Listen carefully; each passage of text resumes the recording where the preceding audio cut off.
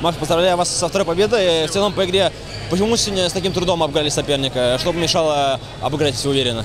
Ну, мне кажется, реализация вот наших 10-метровых, вот, а так вроде все нормально было.